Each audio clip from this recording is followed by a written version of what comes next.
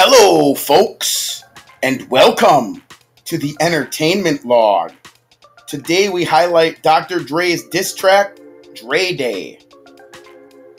Fuck with Dre Day, and everybody's celebrating, or as a single titled Dre Day, is a song by American rapper and record producer Dr. Dre featuring fellow American rapper Snoop Doggy Dogg, released in May 1993 as the second single from Dre's debut solo album, The Chronic. Dre Day was a diss track targeting mainly Dre's former groupmate, Easy E, who led their one time rap group NWA and who, along with NWA's manager, Jerry Heller, owned the NWA's record label, Ruthless Records. In Dre Day, and in its music video, which accused Eazy of cheating NWA's artists, Dre and Snoop degrade and menace him. Also included are disses retorting earlier disses on songs by Miami rapper Luke Campbell and by New York rapper Tim Dog, and by one time NWA member Ice Cube, although Dre, while still an NWA member, had helped Diss Cube first. After Dre Day, a number of further diss records were exchanged. On the main popular songs chart, the Billboard Hot 100, whereas the Chronic's lead single, Nothing But a G Thing, reached number two, Dre Day peaked at number eight in June 1993. The song's bass line is a slowed interpolation from Funkadelic's song Not Just Knee Deep. The chorus includes vocals by two more Death Row Records artists, R&B singer Jewell and rapper RBX. Also included is a sample and an interpolation from George Clinton's song Atomic Dog. A diss track, Dre Day mainly targeted Dre's former NWA groupmate, Easy E. Yet it also dissed New York rapper Tim Dog for his song Fuck Compton.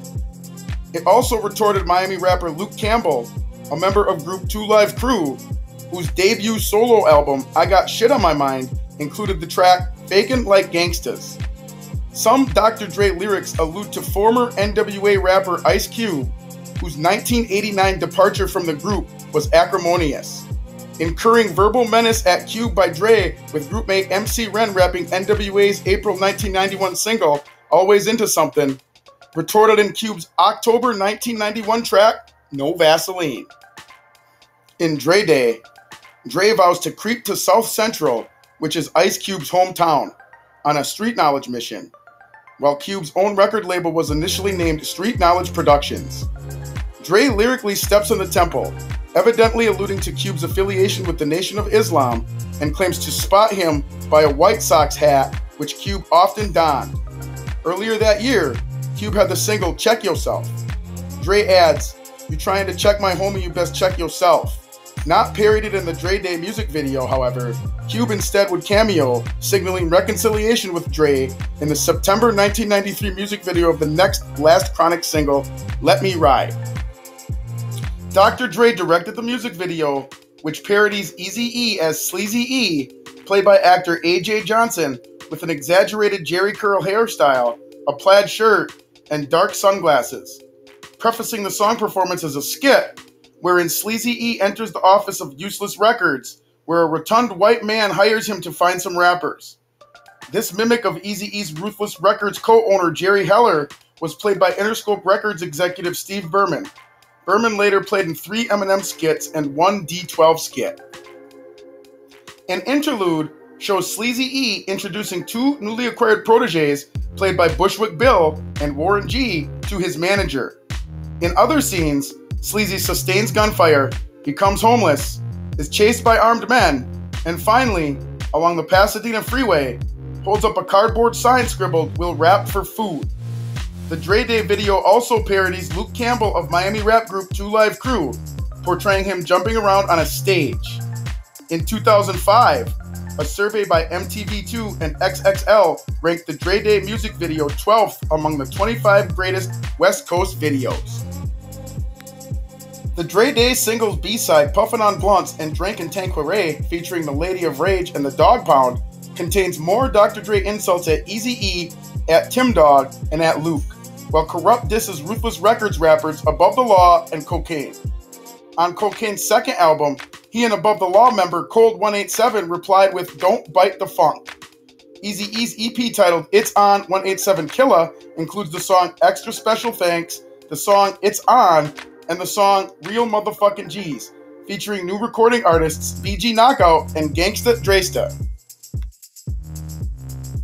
Real Motherfucking G's would become Eazy-E's biggest hit as a solo artist. Its music video imports from the Dre Day music video the character Sleazy E, who in Eazy-E's music video is still roadside holding up a Will Rap for Food sign, but is later chased through town, dragged into a van, and eventually lies motionless at his earlier roadside spot, or in the video's radio edit, falls flat when running near a Leave Compton road sign. On the short film Murder Was the Case's soundtrack, Snoop Dogg and the Dog Pound responded with What Would You Do? while its music video parodies Easy E's proteges BG Knockout and Dresta themselves chased and beaten by the Dog Pound. Tim Dog responded to Dre Day with an EP titled Bitch with a Perm, including the title track and Dog Baby, which yielded a music video including a dancing Snoop Dogg mimic with straightened hair. Luke replied on his second solo album song, Cowards in Compton, whose music video parodies both Dre's inclusion in the 1980s electro rap group World Class Wrecking Crew and casts Dre and Snoop lookalikes ridiculed in a mock of the Nothing But a G Thing music video. Luke's album, In the Nude, also included a skit, Dre's Mama Needs a Haircut, targeting the Shiznit skit on Snoop's debut solo or November 1993 album, Doggy Style. Compton rapper Tweety Bird Loc joined against Luke by issuing Fuck Miami on the 1994 album No Holds Barred. The information brought to you in this video has been provided by Wikipedia. If you enjoyed this video, don't forget to smash that like button and subscribe to the Entertainment Log.